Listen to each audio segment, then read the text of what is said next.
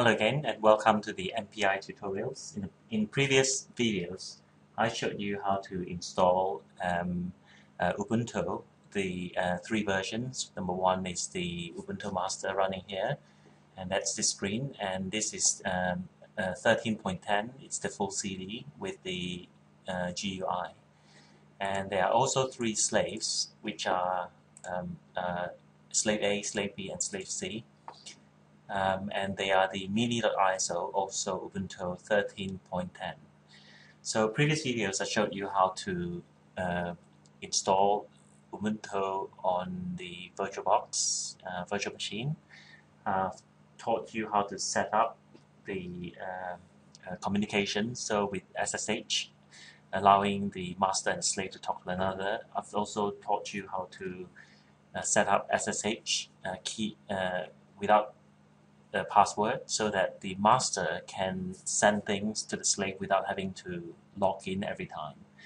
Um, in the last tutorial, I showed you how to install the NF NFS shared folder, and it's all been set up now. So um, from here onwards, I will be installing MPI, um, and a particular version of MPI called the MPI CH2, and so um, the, the first thing, the first thing really is to uh, check again to see if we could talk to the slaves. Okay, so that's one, two. Okay, it's pinging here. Okay, that's great. And what about SSH?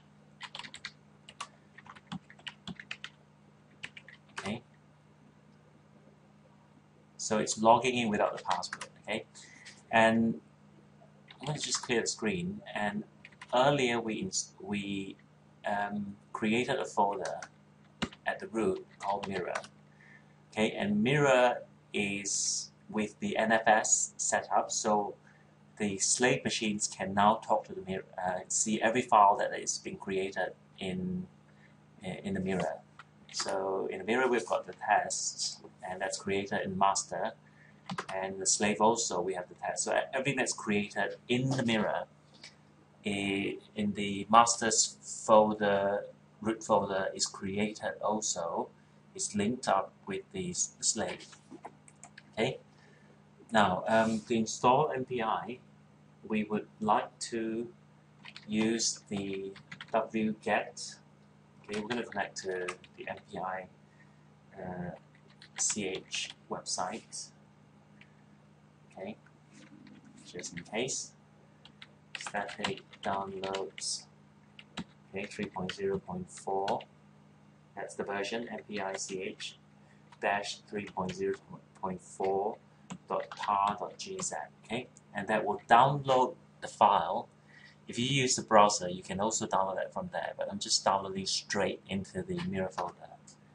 Okay, put in, put in password and it's connecting to the server and now it's resolving the server. So it's connected and it is downloading. Right, immediately after the download, we will extract the file and we will do some configuration before we install it and set up the path. So we're just going to wait. It's going to end soon. It's 80%. Now it's 90% and it will soon be done. Okay, so right now we've got a folder. Okay, we're going to cd change directory into the folder mpich.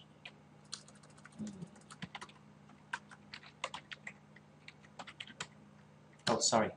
That is not a folder, it's a file. I'm sorry. So I told you we need to extract that, okay? And that's much better. Pressing tab works. So we're going to extract that. Okay, it's showing a lot of permission denied. Well, the reason is that we didn't put a, a, a super user. Now it's doing it properly. So we've got the folder, we've got the zip file, we can do the zip file if we want to.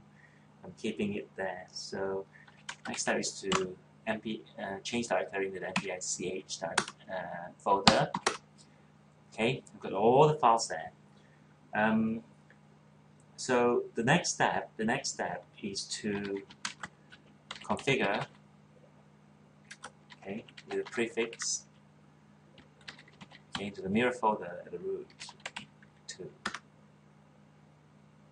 okay.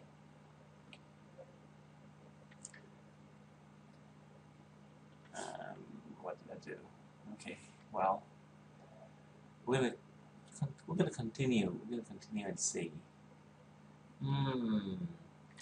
Right. The reason um, is that we need to. Um, did we do that?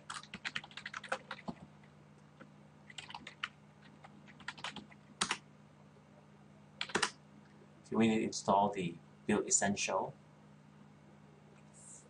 Okay, because the G++ all the build essential files are in that package. We install that first, and I'm going to do that again.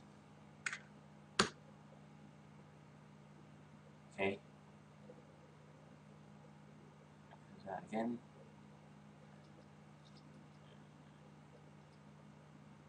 Okay.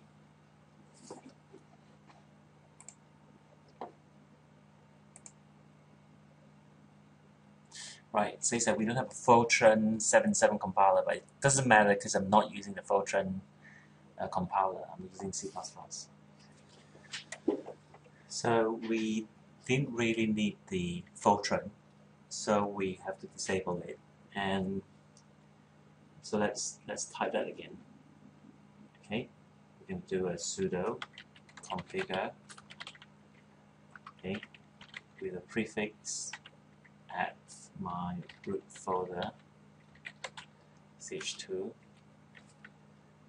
okay and then we're going to do a, a, a disable.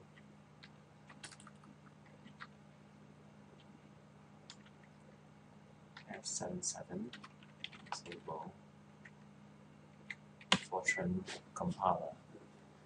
Okay I think that's that's right. So let's press enter and we'll let it run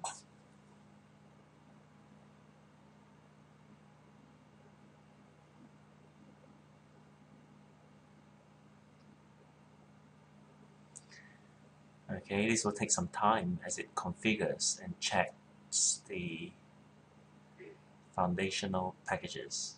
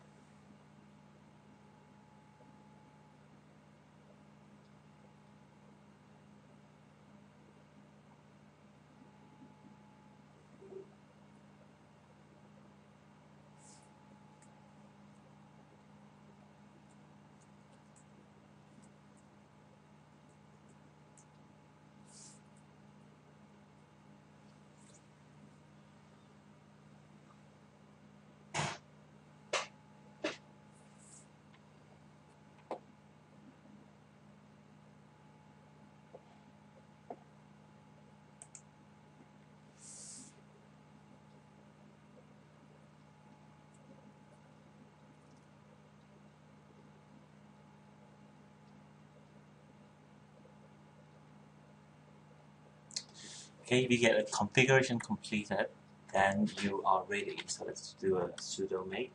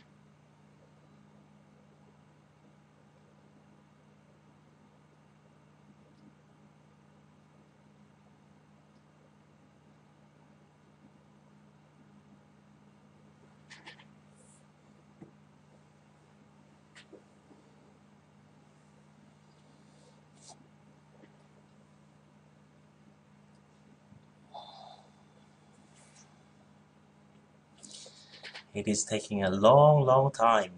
Now, you do know that you can actually go check your email, Facebook, and whatever, watch a video. But get back to this video and subscribe, comment, and like. I'm guessing that it should end soon looking at the folder.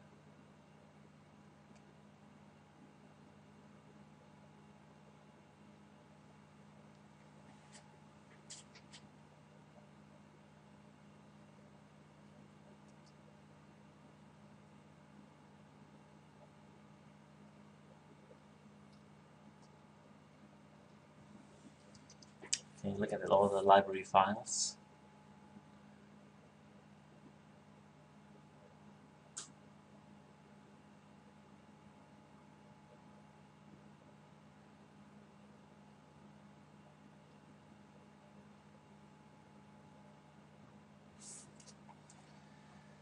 Well, I'm going to go to one of the slave machines, do an ls. As you can see, whatever that has been created in the master folder is mirrored in the slave folder. Okay.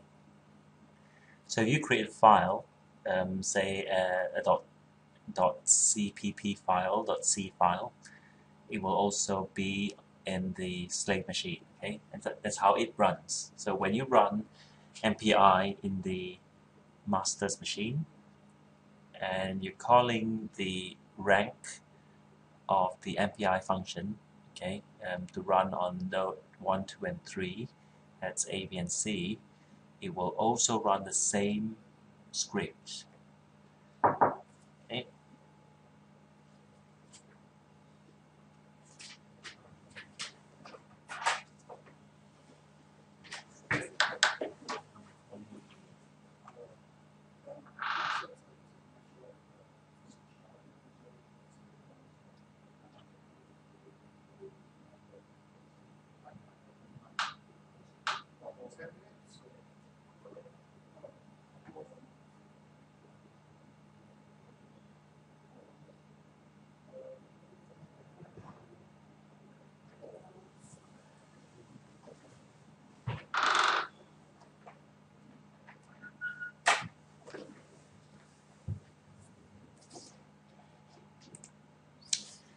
So it is ended now.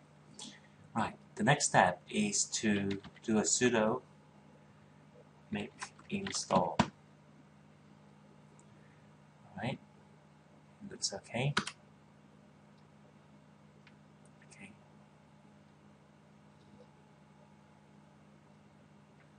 Okay, and that's done.